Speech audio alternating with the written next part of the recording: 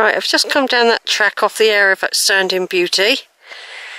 If you go on up there, you come to the big wireless masts that you see from miles around. And you can get to Velvet Bottom from that way. Which was a way I thought of going back. Or you can go this way, where there could be a herd of cows at the bottom. So far I've been lucky and there's sheep in here, but there are cows but whether the cows are out um, gone off to be milked I don't know.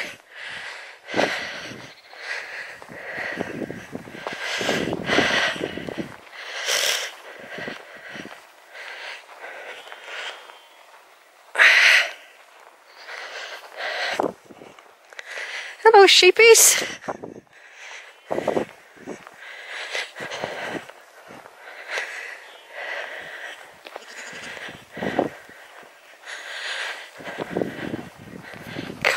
Striders. Striders.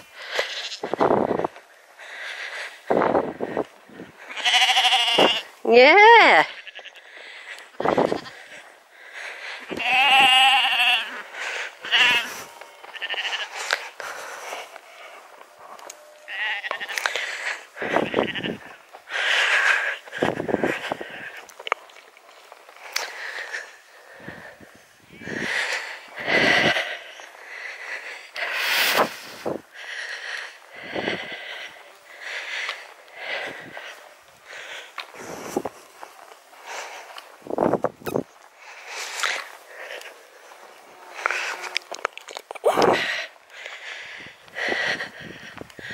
Right, so there's the area of outstanding beauty over there.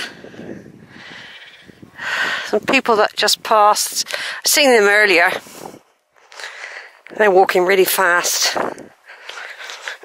They've been up. They've um, when they they were on track what I was on, but they've also been up to the trig point by the look of it. But they didn't have to walk quick because they were up by the trig point and uh, didn't take them long at all. They must have been hammering down and they've just passed me. They're really walking fast.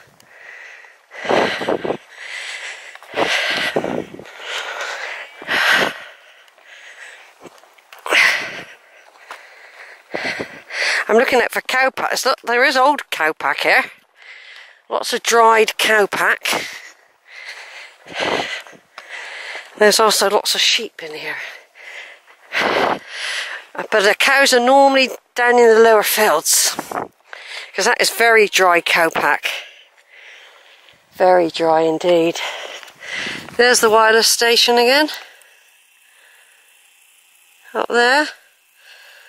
Good reference points as I always point out.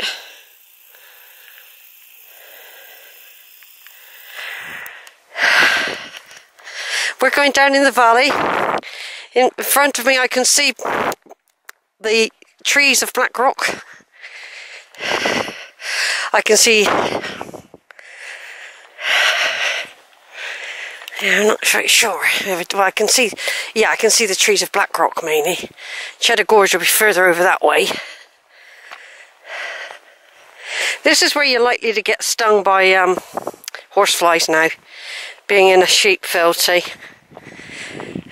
Once you start entering where animals are, the likelihood of being bitten is a hundred percent more.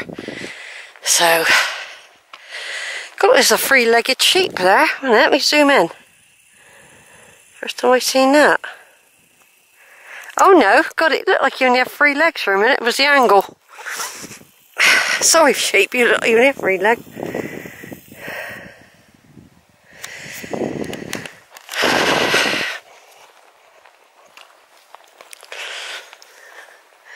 Yeah, so there we go, over there. The area of outstanding beauty. It looks very barren. But as you've seen, where I've walked, it's full of lush green ferns. Lots of wild flowers. So though you look at it like that, it looks very barren and whatever. There's hidden, it's a big burial mound basically, that is. It's an ancient mo monument to the dead. There's lots and lots of hidden burial mounds up there. Some of them aren't hidden, they're obvious. You know, they've got mounds. All on other videos, I've recorded this area a lot. Sometimes in a lot more detail.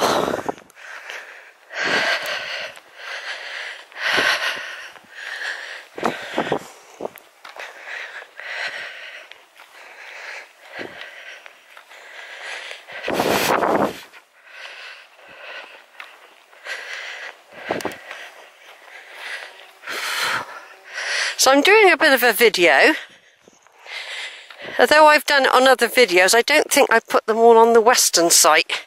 I wasn't sure if we were allowed, because it's not, not really Weston, is it? But it is Somerset, and people like to come out here from Weston. So some people might think this isn't relevant to Weston. Well, it is in a way, because this is within reach of Weston if you want to go for a walk in the countryside. And at some places you get beautiful views of Weston.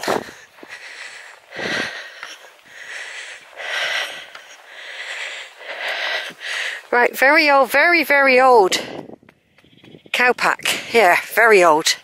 No sign of fresh yet. I mean, because where I'm going, these cows have even been known to mingle in these bushes here. I've always been lucky so far. It could be that they're all being milked and I've just struck the time right. You see?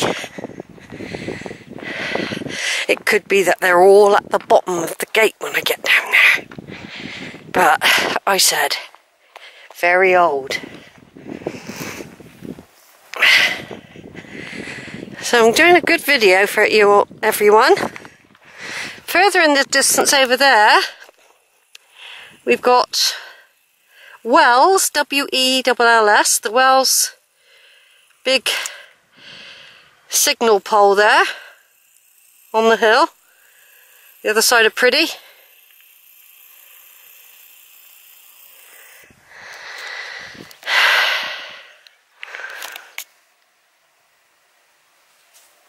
Long Wood is over there.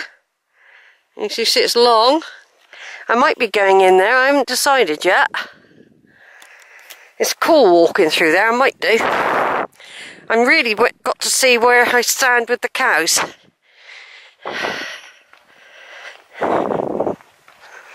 Mind you, these fields do look very munched. So it could be that the, um, the cows are in other fields at the moment, because like I said, the, the grass has been chewed right down, and the, the sheep are good at doing that. But so are the cows, so it looks what I call very munched. The water tank is empty as well here.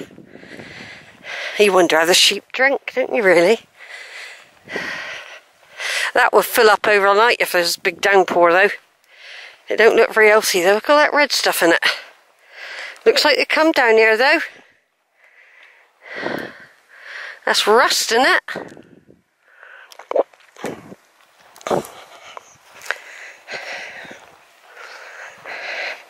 So, look back again where we've come. From right over there. We've walked all around the area of outstanding beauty. Through small tracks, high ferns, lots of little trees and shrubs for shelter. Passing the base of the Iron Age fort. Up through a peaceful, quiet valley. Just one or two people.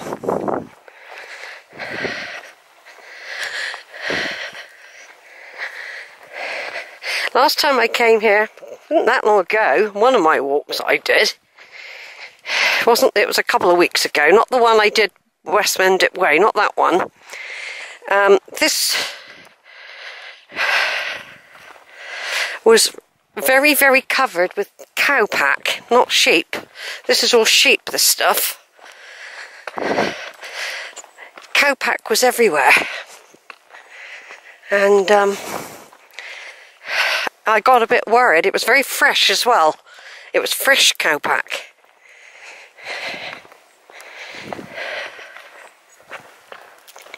As you can see, I'm going downhill now. We should emerge at a stile in a moment.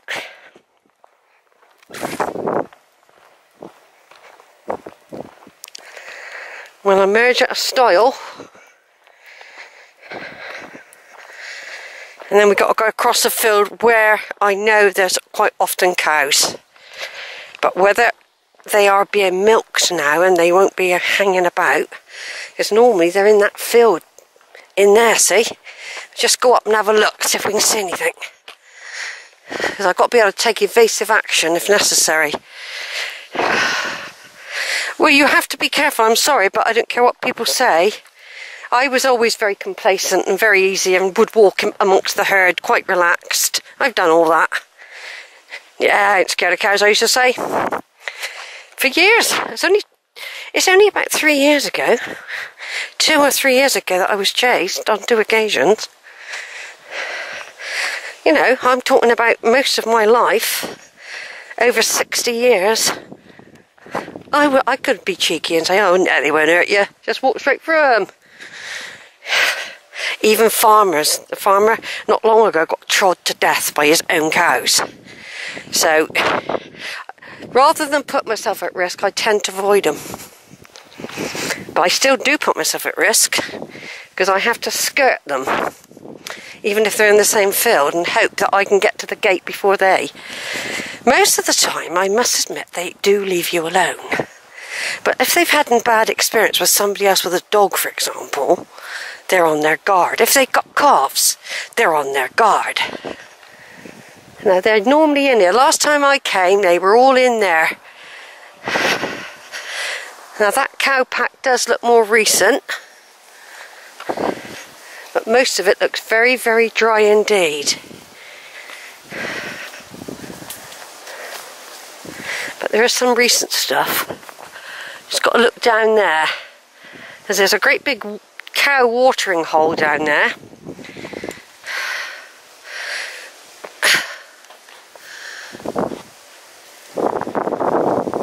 It's possible that they're in being milked or they've been moved.